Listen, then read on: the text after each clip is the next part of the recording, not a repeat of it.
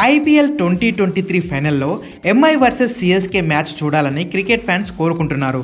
ఈ కాంబినేషన్పై Chennai Super Kings bowling coach DJ Bravo response ఏంటంటే? నాకు భయం అవుతుందిరా? ఏమైతుందన్నా? భయం అవుతుందా ఎగ్జాక్ట్లీ ఇలాంటి డైలాగే చెప్పాడు. గుజరాత్పై చెన్నై గెలిచి ఫైనల్లో అడుగుపెట్టిన తర్వాత డీజే బ్రావోను స్టార్ స్పోర్ట్స్ కామెంటేటర్స్ ఒక క్వశ్చన్ అడిగారు.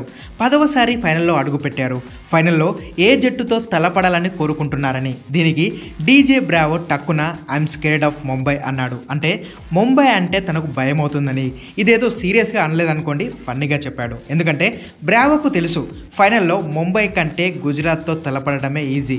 ముంబై వర్సెస్ చెన్నై అంటే లాస్ట్ బాల్ వరకు టెన్షన్ ఉంటుంది. ధోని బౌలింగ్ అస్త్రాన్ని సంధిస్తే రోహిత్ బ్యాటింగ్ అస్త్రాన్ని సంధిస్తాడు. ధోని ఫీల్డ్ సెటప్ అస్త్రాన్ని సంధిస్తే రోహిత్ బౌలింగ్ రొటేషన్ అస్త్రాన్ని సంధిస్తాడు. ఇలా క్రేజీగా ఉంటుంది మ్యాచ్ అంతా. మొత్తంగా ముంబై వర్సెస్ చెన్నై నాలుగు ఫైనల్స్ ఆడితే రెండు వేల పదిలో తప్ప మిగతా మూడు సార్లు ముంబై గెలిచింది.